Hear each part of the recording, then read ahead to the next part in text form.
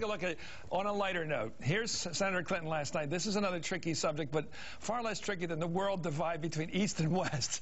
Here's one about Hillary Clinton being media critic last night. In the last several debates, I seem to get the first question all the time. And I don't mind. I, you know, I'll be happy to field them, but I do find it curious. And anybody saw Saturday Night Live, you know, maybe we should ask Barack if he's comfortable and needs another pillow.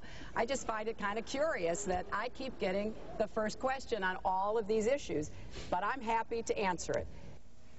You know, I gave you the first question, Norah. no, I'm just kidding. You know, I'm, I'm not sure. It, it, may be a good point she's making. The first question could be the tougher one, but I noticed last night that it didn't matter who got it first. It never ended. Hillary would say something, Barack would say something. Hillary would say something, Barack. It never ended. It didn't matter who started. Well, you know, it's interesting. I know that a lot of, of people have commented about that soundbite and saying that she uh, probably was unfairly critiquing the media or the fact that she gets the first question. I'd be curious to see some data on how women reacted yeah. to that particular soundbite. I think that there is a gender divide um, about how people view that, whether she's being treated unfairly or not. Now, whether she delivered it the right way, whether she, totally. by talking about Saturday Night Live, I think it is true that the CNN debate was unique in some ways um, that led to that SNL spoof, which is why Hillary Clinton, he did seem to get some of the, she seemed to get some of the tougher questions in that previous debate, not our debate last night, where it was, was much more fair. Uh, but you think Saturday Night Live was tough one at CNN because it's another network?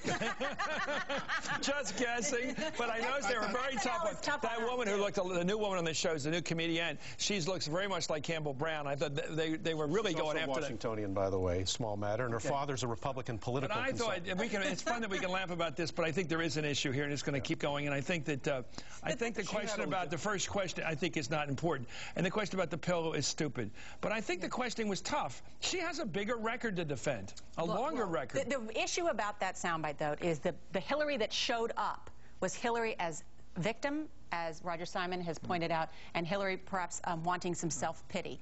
That was a different, again, that Hillary anger, Hillary sarcasm. It has been a different Hillary, which has been a weakness that there has not been uh, a clear message coming from her campaign. I think she's got a gripe. In the last several debates, I seem to get the first question all the time. And I don't mind. I, you know, I'll be happy to field them, but I do find it curious. And if anybody saw Saturday Night Live, you know, maybe we should ask Barack if he's comfortable and needs another pillow. I just find it kind of curious that I keep getting the first question on all of these issues, but I'm happy to answer it. All right, as much as the inside D.C. media bashed her for that line, we looked at the numbers, and Clinton's got a point. For the six Democratic debates in 2008, our research found that Clinton got the first question of the night in five debates. She was asked the first question on the first three topics 10 out of 18 times.